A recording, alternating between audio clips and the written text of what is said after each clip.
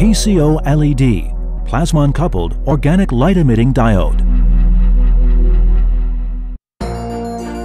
With their lightweight, thinness, and flexibility, organic light-emitting diodes, or OLEDs, offer a planar light source that is natural-looking and gentle to the eyes. The glare-free light allows for close-distance use, making OLED illumination a rising star of next-generation lighting. Unfortunately, current technology cannot offer OLED with an extended lifespan and power efficiency.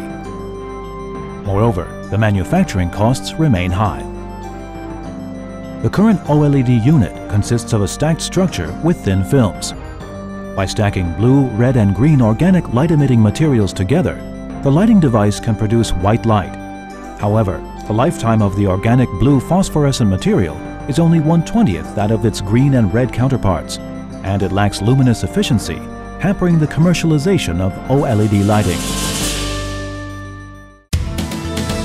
In response to the blue light problem, ITRI developed a plasmon-coupled organic light-emitting diode called PCOLED. This technology uses a double metal layer structure which allows the two surface plasmon to be coupled to generate blue light directly from the green emitting material.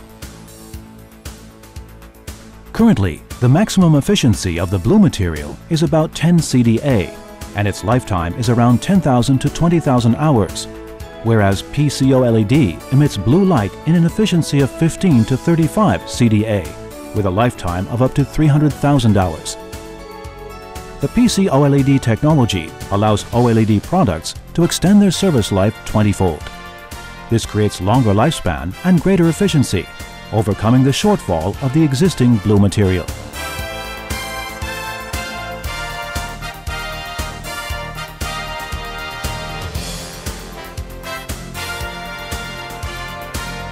ITRI's PC OLED technology can be applied to the current OLED manufacturing, accelerating its commercialization.